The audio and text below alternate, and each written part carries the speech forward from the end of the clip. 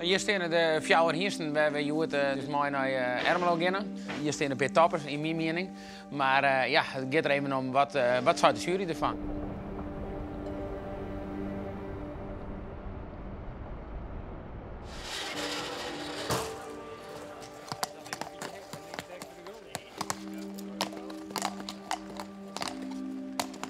Hij mag nou klinisch keurd worden, dus dat betekent dat hij, uh, de veersen hem helemaal uh, besjoggen of het helemaal goed is.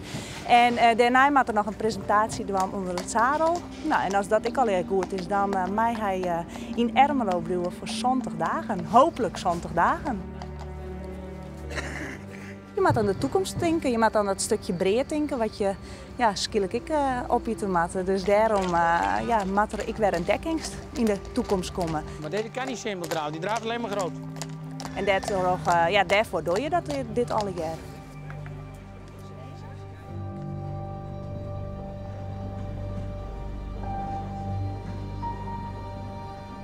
Langs de kant blauwen nou. Stuur hem een keer bij de kant op. Goed zo.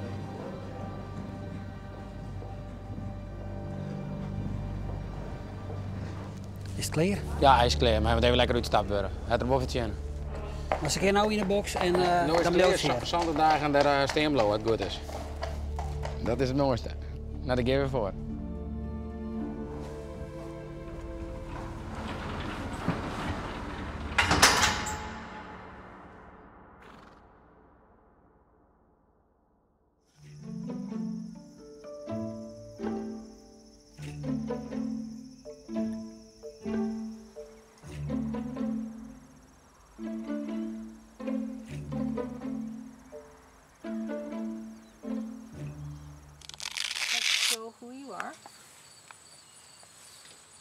Beautiful face. This is Ari. Yeah. And it has been a long time since he has been in front of a camera. So you'll notice he is regarding everyone carefully to make sure this is safe, and it is. Only safety here. And he's known a lot of memories now. Yeah. Yeah boy. All is well. Yes, thank you. It's forever home. And he knows that. Yeah. Yeah. And he's having a lot of emotion now, so you may, he may choose to walk away. What is that? Good boy. Yeah. He was having just a lot of emotion when he saw the camera. So for him, that has been 10 years. It was a very mixed experience. So I could feel that coming up out of him. It was actually rolling over me. I thought I was actually going to cry because there was a little bit of, um, there's some grief in him around that.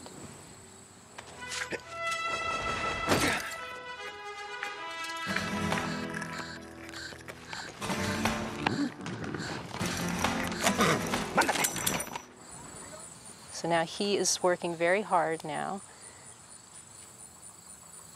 You okay? Yeah? yes, all is well. All is well. Thank you. Thank you for trusting us.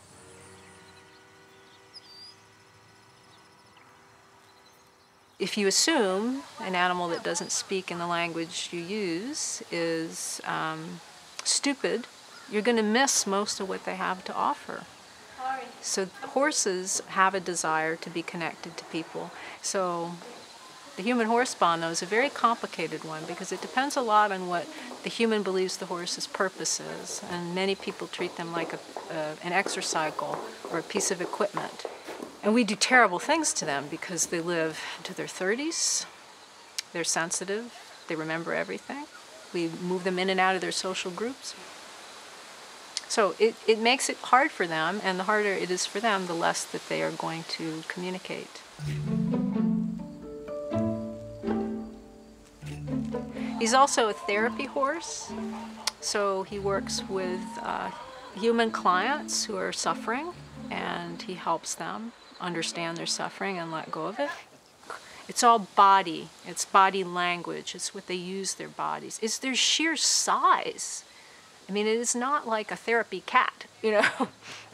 There's something happening there that you you just you just wait for it to, you know, and people will say they they feel loved, they felt respected, they felt supported.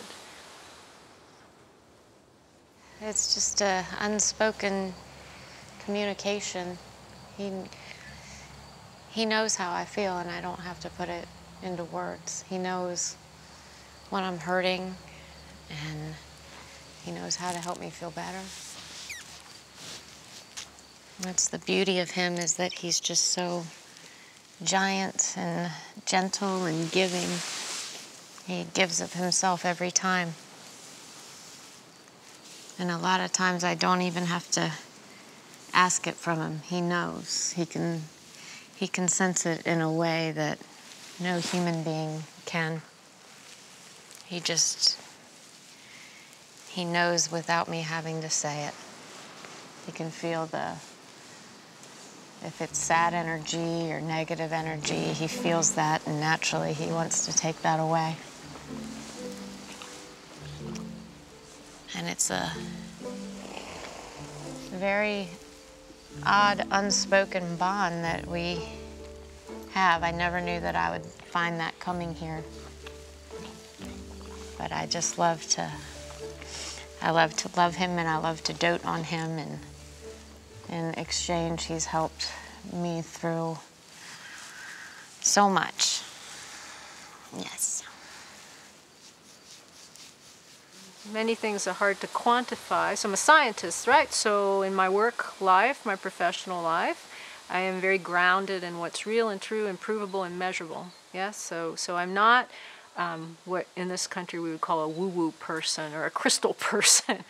um, so I have that background. However, one thing that is true about science, if you study the history of science, is what we call science has changed. It evolves.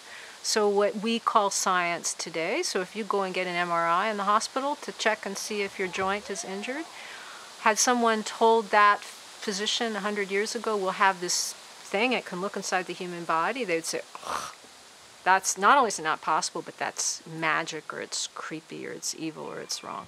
So where science is, is defined by what can be measured. So there's no difference there. It's just you can measure what I do over here, you can't measure this over here. Someday somebody will. You can see he's innocent here, not the, the older, sadder, wiser I, but this is the young, innocent. Such a beautiful boy. And the other video, uh, The Legend of Sorrow, Yeah, did you see it? I, I did see it. And what I was really very surprised by is there's probably seven or eight minutes of equine footage in that in the entire movie. So two and a half hour movie, seven minutes of horse filming. Of that seven minutes, at least half of it is not him. And in some of it, he was a buffoon. He was smoking a pipe. He was drinking a bottle of wine. So it's just shocking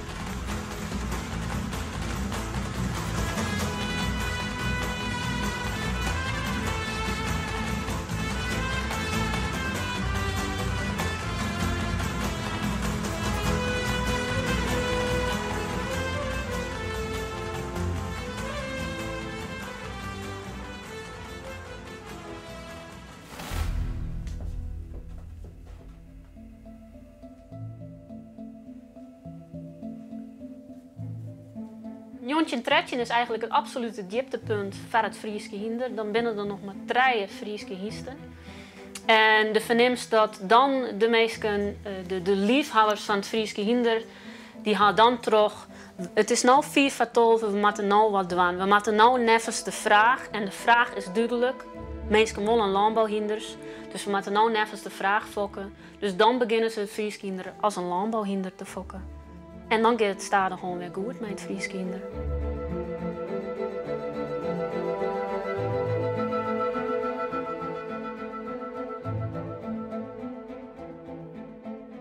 Totdat de mechanisatie teruggaat en de trekker komt. En dan verdwijnt het Friese hinder. Eh, Eigenlijk in een periode van tussen 1955 en 1964 heel het. Van de 30.000 hinders wat er dus in heel Friesland binnen. Dus net alleen nog Friese hinders, maar alle hinders. Binnen er eh, 10 in letten om het 10.000. Dus dat is... eh, dat gaat dan heel het. En ik, in, in het stamboek vernemen ze dat ik. Drie kwart gaat voort gewoon. Mensen verkepen die dus naar de slacht, weet ik het wat al want, want het is te duur en, en het had geen doel meer. En eh, dan reageert het stamboek uh, dadelijks. Want ze willen net weer, zo'n crisis als in Jontje Tretjen, dat er nog maar treien binnen. Dus eh, dan beginnen ze eigenlijk voortendaallijks in te spelen op eh, wat er in die periode eh, gebeurt. En dat is eh, de opkomst van de gewone meesk. En de gewone meesk had steeds meer geld en steeds meer vrije tijd. En eh, het historien is echt net meer van de elite. Dus echt het historien wordt een vrije tijdsbesteding. En daar speel je op in, van wat er een vrije ti- tijdshinder van maatje.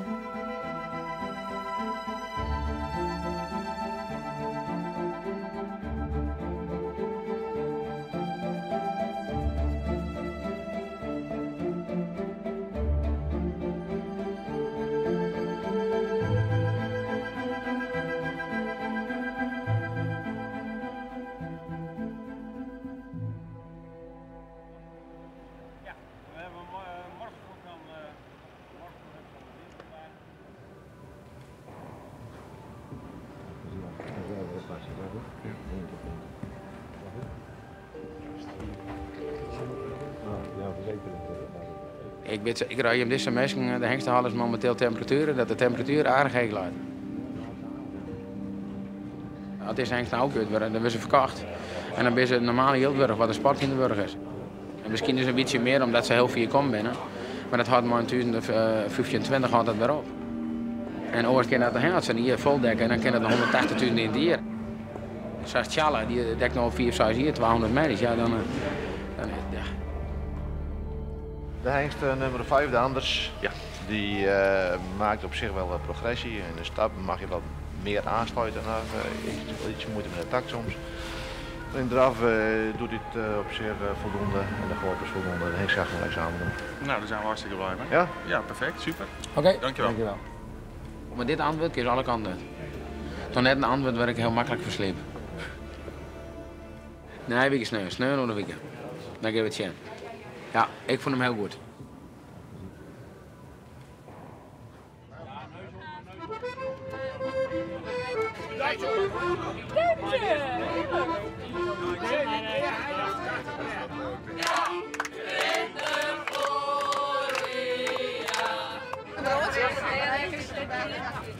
Nou doet er het. Beste mensen, alle welkom. Wij hopen jullie weer een mooie dag te hebben. We beginnen naar eh, België. Dat is natuurlijk altijd al een prachtig mooi uitzicht. Wij zijn er 100% zeker van dat we een prachtige proef jaar hebben. Want eh, wij doen het ons. Ik hoop dat we een mooie reis hebben. Dat we een mooie dag hebben. En we zullen daar wel weer. Dank u wel. Dit binnen een groepje mensen die volledig op vrijwillige basis lol hebben aan het optreden met wat Friese hinders de en dan een kuur rijden op muziek. Ik zeg altijd, zijn uh, uw trainingsleider, Raidse Faber, ik zeg altijd, het is, eh, het is een unieke groep. Ze janken net, ze klaaien net, ze binden op tijd en hoi, ze gaan weer naar huis en dan word ik je bezig er weg.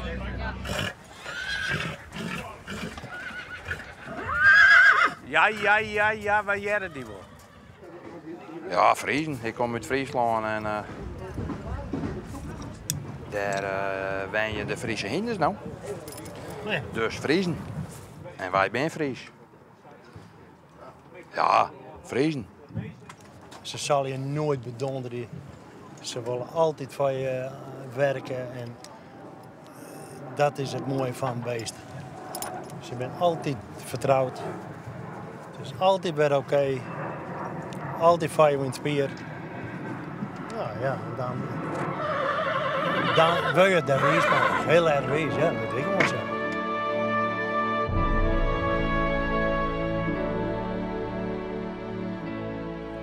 zakelijk alles komt uit de familie. Ja, gelukkig al. Want anders zou je het zelf wel in ons kaffen moeten dan. Dat heel bezit, hè? Ja. Geleerd.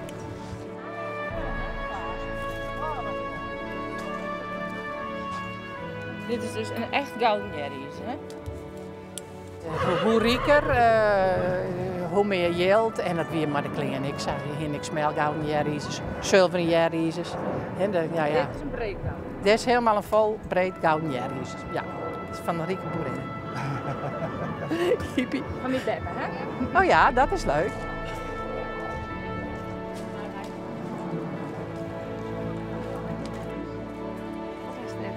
Hij zit. Ja.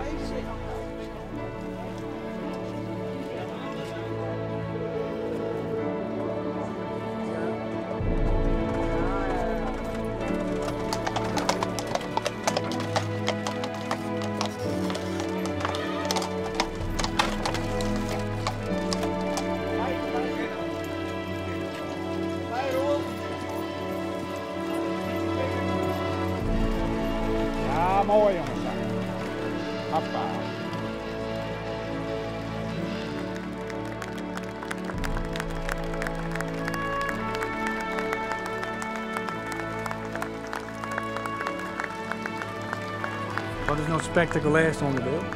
Uh, zal ik je direct zeggen, eh, de linie en klaverblad. En dan denk je, hoe komen ze ooit weer uit elkaar?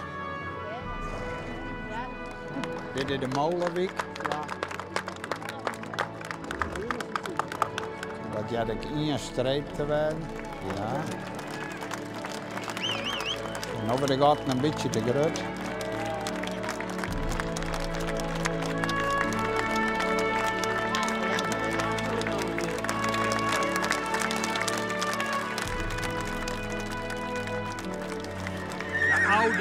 Ere in stand houden.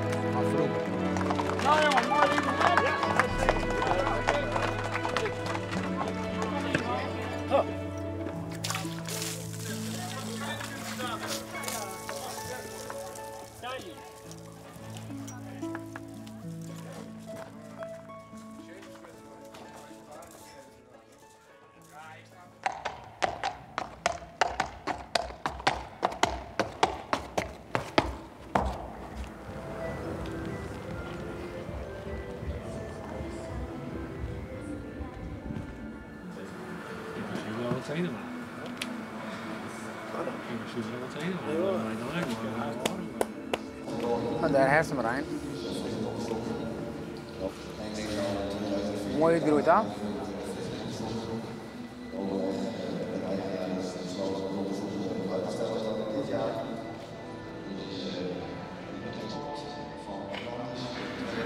Mooi compleet. Maar hij heeft toch alles. Hij heeft rastype. mooi compleet. Bloed, bloedopbouw is perfect. En als je verrekking is uh, boven de mild. Nou, dan is dat klaar. Goed zo. Goed.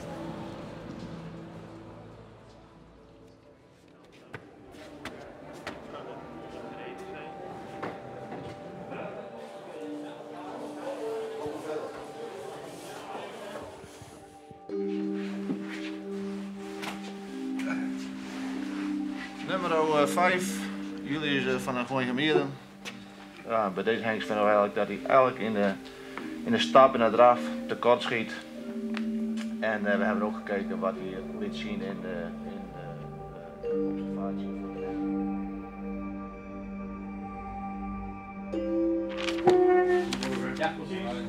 Godverdamme. Wat een gek, joh. 74 punten en hij ligt eruit. Hij kan niet stappen. Kan niet stappen. Hij kan niet stappen. God. Wat je choqueert als dit hier, traai erin brengen en traai ook uit, hè, als je dat een paar keer achter elkaar hebt, ja, dat kan zo'n als huis net dragen.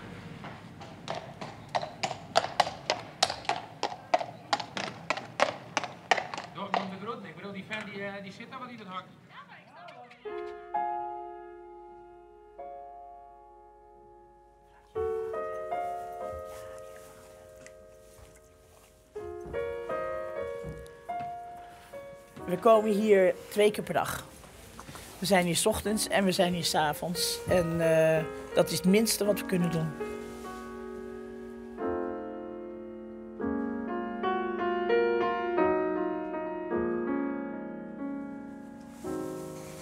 Het zijn onze kinderen. Het zijn onze enige erfgenamen. En eh, ons grootste huwelijksgeluk tot op heden.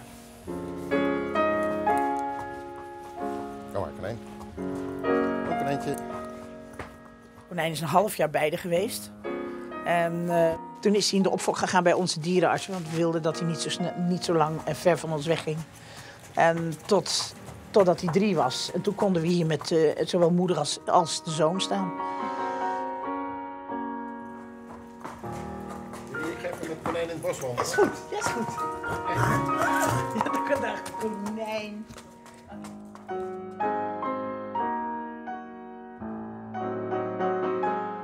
Mijn vrouwtje. Bijna negen jaar geleden met de kerst hebben we haar gevonden, zijn we haar tegengekomen bij Pieter Okkema. Eh, in een, ja, vlak voor de kerst. In een prachtige grote stal was, stond. En het was niet direct waar ik naartoe geleid werd, want het paard hoefde niet weg. Dus eh, toen kwam de hele familie erbij. Ik denk, nou, daar komt het oordeel, hè? mag ik er hebben of niet? En toen keek Titi me aan en met zulke lieve ogen. En, eh, en toen zei ze van, eh, nou, hoe groter de titel, hoe liever de vrouw. Nou, je mag er hebben, je mag er hebben. En op kerstavond kwamen ze samen ons, dat, kwamen ze het beest brengen. Ik, ik, ik vergeet het nooit.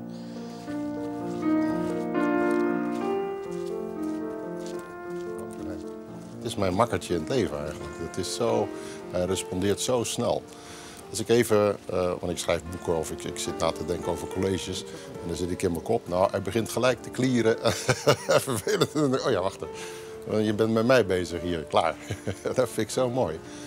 Dus hij trekt je gewoon iedere keer weer eh, ja, bij jezelf en de natuur in.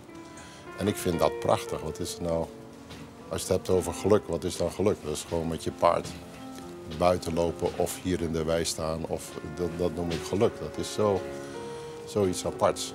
Dat, dat noem ik echt geluk hebben.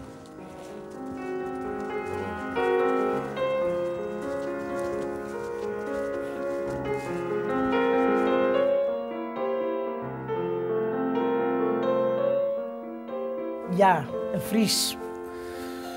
Waar moet je dan beginnen met een Fries? Wat moet je dan het eerste zeggen? Onvoorwaardelijk. Super betrouwbaar. Lief.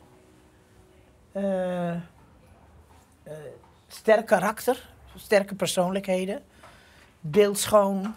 eh, eenmanspaarden. Beetje eenkennig. Eh, ja, vrouwtje, waar zou ik beginnen? Hè? Het mooiste wat me is overkomen. Ja. En ja, dat, dat, dat als dat veulentje geboren wordt, dat is ook iets ongekends. Als je dat een keer mee mag maken. Dat, want ik heb dat konijn heb ik gewoon... Het was net geboren en helemaal droog gemaakt. En op een gegeven moment zei Tom, dan moet je echt uit de stal komen. Want het beest denkt dat jij zijn moeder bent. Een konijnenman. Kijk eens konijn wie daar is. Kijk eens konijn. Je hebt ook een onderwerp samen. Dat is het. We hebben de paarden samen en, en hoe de paarden op ons reageren en, en wij op hun. Dus dat is, eh, ja, het is een soort iets wat je samen hebt. Je moet ook samen geschiedenis schrijven op een gegeven moment, zeg ik altijd. En dat is bij ons dus de paarden. En, eh, en natuurlijk haar muziek, maar dat wil ze niet zo horen. Maar dat is het ook wel. Dat als ik zit te werken en zij speelt, ja, dat vind ik heerlijk.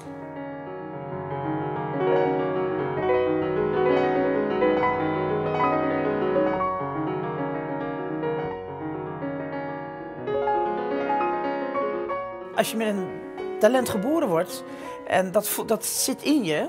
En je zou dan ook nog een kind moeten krijgen. Ik kon dat als, als jong meisje, wist ik het al. Ik kan dat niet delen in mezelf. Dus ik moest vol voor de, voor de talenten uitgaan. Daar, kon, daar paste geen klein mensje in. Die zou ik tekort gedaan hebben ook daardoor. Maar ja, goed, nu eh, nou we aan onze tweede jeugd beginnen, ja. Hè?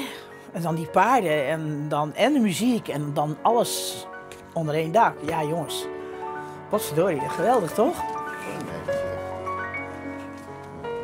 Ik heb natuurlijk geen zoon. Eh, dat klinkt voor mijn dochters natuurlijk niet zo leuk. Maar ehm, het is en, en een zoon, want het is, het is, het is een, een wilde. En het, iedere keer moet je kijken van hoe ga ik daarmee om. Want ik probeer hem zo natuurlijk mogelijk te laten zijn, maar tegelijkertijd moet hij wel luisteren. Dus in het begin had ik heel veel moeite met eh, eh, wanneer laat je iemand vrij en wanneer ben je even streng. En eigenlijk heeft, heeft Konijn me dat geleerd. Het is ook die balans in jezelf vinden als het ware. Van waar ben je rustig, waar ben je streng of moet je streng zijn en waar kun je het gewoon laten gaan.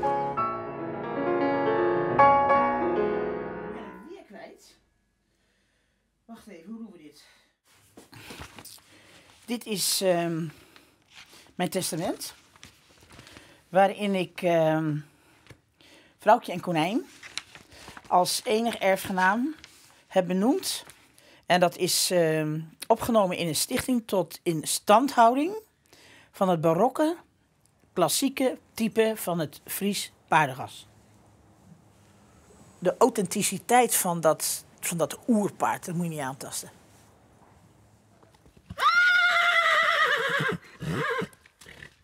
Het is zoiets bijzonders. Het is, eh, ja, niet van deze aarde bijna. Maar dat heb je met een Fries. Daar, daar heb ik geen woorden voor. Ik zou het alleen maar in muziek kunnen uitdrukken, denk ik. Als een ode aan, aan, aan de Friezen.